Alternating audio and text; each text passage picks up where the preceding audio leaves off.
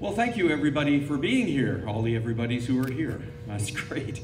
Uh, first, we uh, make it a tradition to recognize that we are on the traditional unceded territory of the Katzie and the Semiahmoo nations, uh, and uh, we owe a lot to them, actually. Uh, you know, they were here way before us. They've trusted us to look after this uh, part of the earth for them, and sometimes we've done a good job and sometimes we haven't, but that's another story.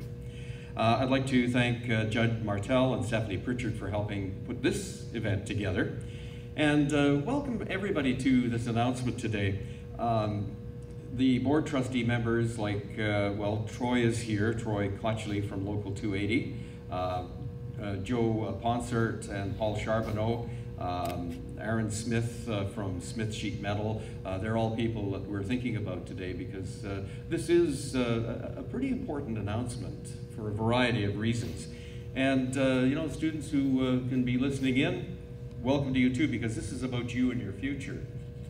This union-based skills training is key to the federal government's commitment to get more people working in the skilled trades reducing barriers for apprentices to complete their training, and of course, go on and, and have themselves really good careers.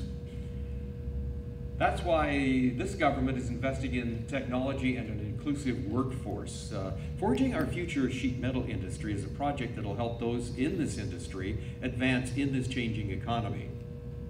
So that's why today, on behalf of the Honorable Patty Hajdu, the Minister of Employment, Workforce Development and Labor, we're announcing a project that will invest in training equipment and materials to help those apprentices get the skills they need. This project is funded under the Union Training and Innovation Program, the UTIP program. So with that, congratulations and uh, keep up the work, keep turning out those skilled laborers. We'll keep making the story known that a future in the trades is a great future and it's what Canada actually needs. So congratulations to you.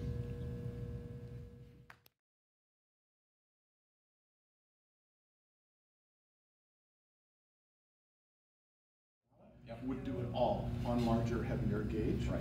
So on this one, you would have, you would come up to the machine, you would find your edge, it's got a gauge to it. Mhm. We would start, so give it a good turn. I think I've gone a little bit, I might have gone too deep in that. And we, we get to there, right? Now a little bit more pressure.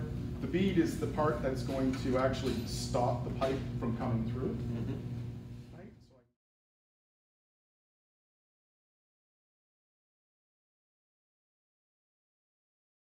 Cool part is what we would do to, to, to work on that next is turn on a cue for it. Mhm. And then that's what this here is going to do. It's just going to give you something now more of a visual indicator Oh, right, of how far away you are. Yeah.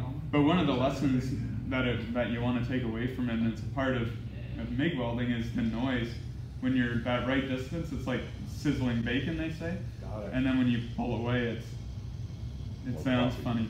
So you'll learn eventually you don't need to even look at that cue. You can just listen to the, the Got it. speakers basically for your Yeah, your distance in and out. got it.